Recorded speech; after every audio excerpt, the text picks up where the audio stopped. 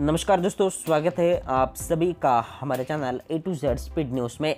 दोस्तों, हर साल की तरह इस बार भी अमिताभ बच्चन का क्विज रियलिटी शो कौन बनेगा करोड़पति सीज़न 15 चर्चा में है। अब बीते एपिसोड में एक कंटेस्टेंट 25 लाख रुपए के सवाल का जवाब नहीं दे सकी। दरअसल मधुरिमा हॉट सीट पर बैठी थी।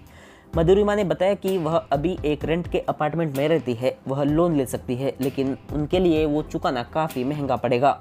उनकी माँ ने बचपन में दो चीज़ें सिखाई है, जो कि उन्होंने हमेशा के लिए गांठ बांधी है। पहली की घर में लड़ाई नहीं करनी चाहिए, क्योंकि लक्ष्मी और शांति दोनों नहीं आती। दूसरा, जो भी है, उसमें ही जीना सीखो। किसी भी चीज़ के लिए लोन लो। वह नहीं चाहती थी कि उनकी बेटियों की शादी कभी लोन लेकर हो। बिना दहेज और लोन के ही तीनों बहनों की शादी हो गई है। इसके बाद गेम को आगे बढ़ाते हुए वे बारहवें सवाल पर पहुँची। इस सवाल का सही जवाब देकर मधुरिमा बारह लाख पचास हज़ार रुपए की राशि जीत जाती है। फिर आया तेरहवा सवाल, पच्चीस लाख रुपए के लिए। यहाँ उनके पास दो लाइफ लाइन मौजूद थी, एक डबल डिप और वीडियो कॉल फ्रेंड। पच्चीस लाख रुपए के लिए सवाल था, कि संगीतकार जोड़ी के अंतिम नाम में रघुवंशी और पंचाल है? इस सवाल के लिए चार ऑप्शंस थे, कल्याण जी और आनंद जी, लक्ष्मीकांत और प्यारेलाल, शंकर और जय किशन आनंद और मिलिंद।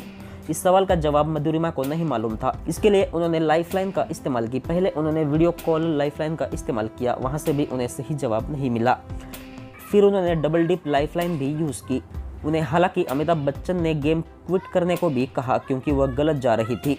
फिर अमिताभ बच्चन ने उनसे एक ऑप्शन सिलेक्ट करने को कहा। उन्होंने पहले बी और फिर ए कहा, जिस पर होस्ट ने कहा कि सही जवाब सी है। ऐसे में मधुरिमा तीन लाख बीस हज़ार रुपये का पड़ाव पर गिर जाती है और बाकी राशि हार जाती है।